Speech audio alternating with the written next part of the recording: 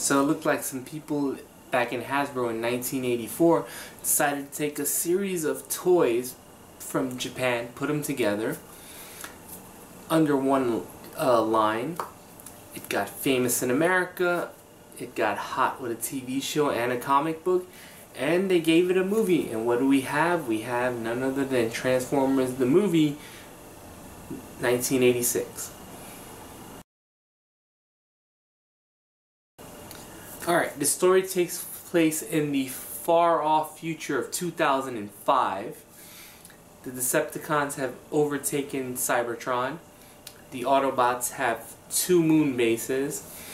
And the Autobots are looking to go to do a run to Autobot City to get reinforcements and resources to help overtake Cybertron. Megatron finds out about this sends his people accordingly to stop this insurrection. And while all that is happening, we are introduced to a new monster villain. A gigantic planet by the name of Unicron who wants to destroy everyone. Everyone!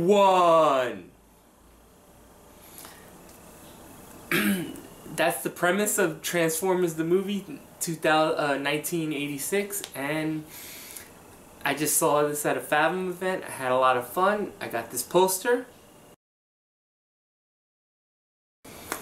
And uh, this movie's really weird to review, especially in this time. I saw it when it came out in the movie theaters in 86 and now I'm seeing it in, in 2018 which is 32 years and you can always look at this in two different ways. One, let's look at it from a critical aspect, which is what a lot of the people who saw it in 86 thought of it. The writing is complete nonsense. The story doesn't make any sense. The movie automatically assumes that you have seen the TV series, so there's no explanation. You're just thrown into this world and without really being told who's the good guys and who the bad guys are. Uh, the music is very loud. It is very obvious from the start what this is, is and it's a commercial to sell more toys. Um, it didn't do well critically. It was a bomb at the box office, making less that same year than the My Little Pony movie that had come out, I believe, a couple of months afterwards or before one of them. Um, so there's that.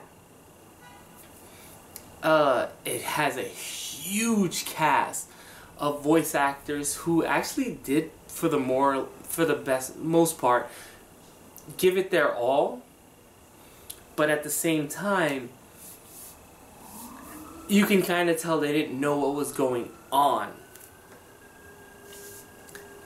and so yeah so I can understand critically why at the time they didn't like it. But, and I can understand why kids at the time didn't like it because this is a non-spoiler review for a 32 year old movie. Something happens about, about more or less by the 32 minute mark in this movie, all your toys are gone. But in a very cynical attempt, and this is a very cynical movie, we have more toys to sell you because at the end of the day, this movie was a toy commercial. And yeah, it's a toy commercial. But it's a toy commercial that had legs. Like I saw it today in the movie theaters and yes, it's hokey. Yes, the animation is inconsistent. The coloring is it can be bad at times. There are off-model shots. A character will look one way, i.e. the the main protagonist of the movie. Unicron looks one way in one shot, and then the next shot, he'll his face completely looks different. But there's so much there to grasp. I think that's one of the reasons that Transformers is a, still a viable franchise, you know, 34 years later, it came out in 84, where a lot of its, you know, the, the its uh, cohorts, some like Thundercats, Silverhawk, G.I. Joe, uh, fill in the blank, whatever 80s show you like, is not around anymore. Transformers has more or less been consistently around for 34 years. Um, the animation, when it's good, is good in this movie.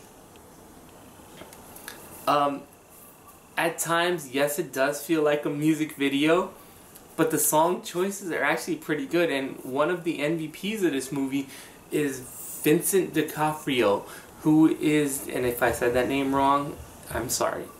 It's late, and I have a, and have a, and I have something in my throat.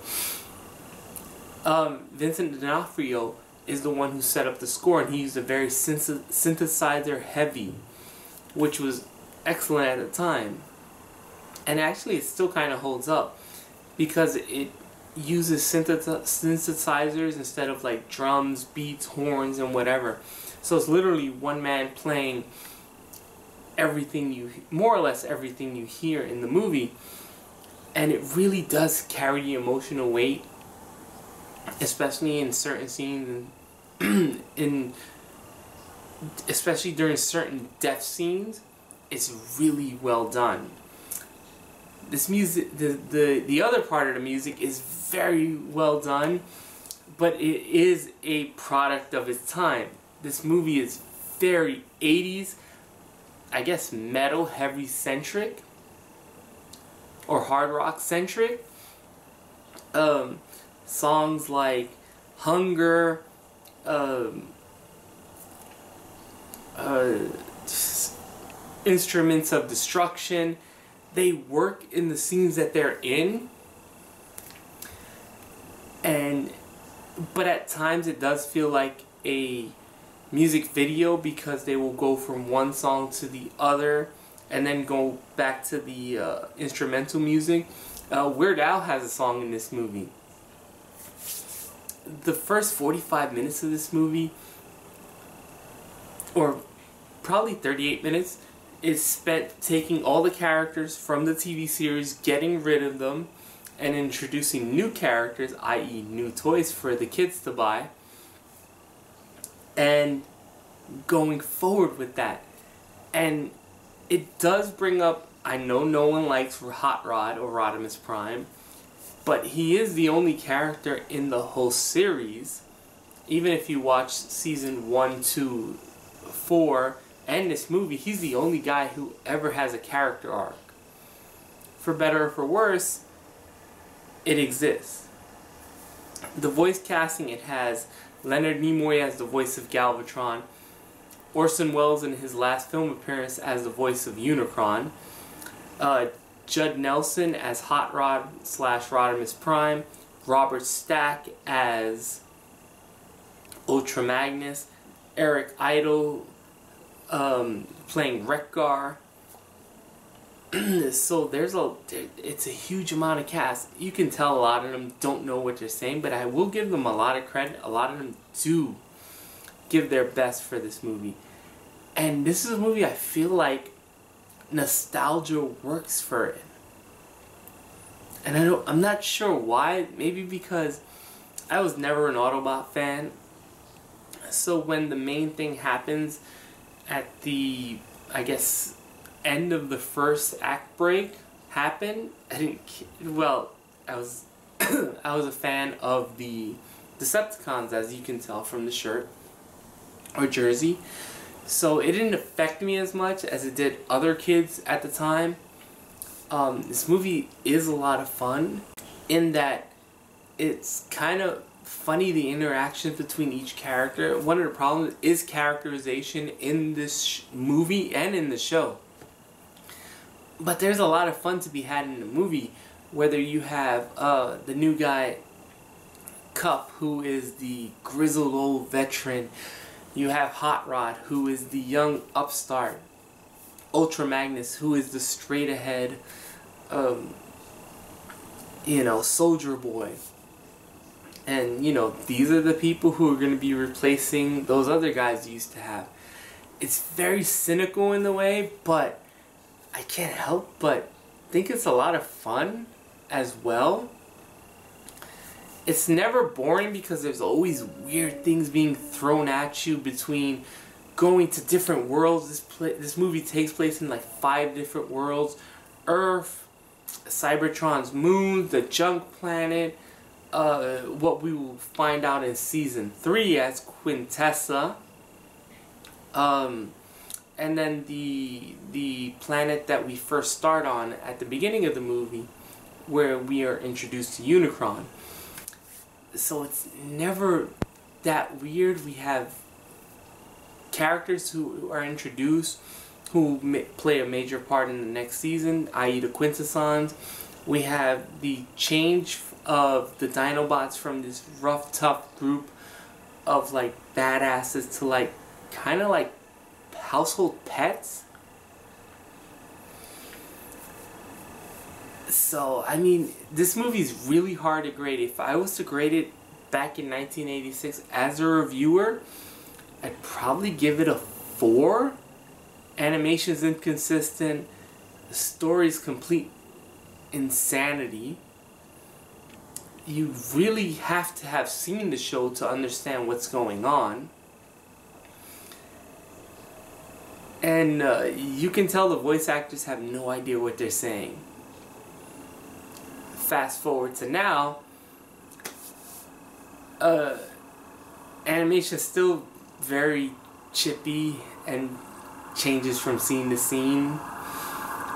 But it is a well told story.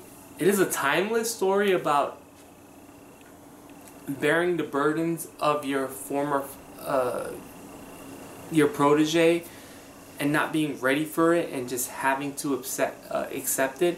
Whether you have Ultra Magnus's arc, where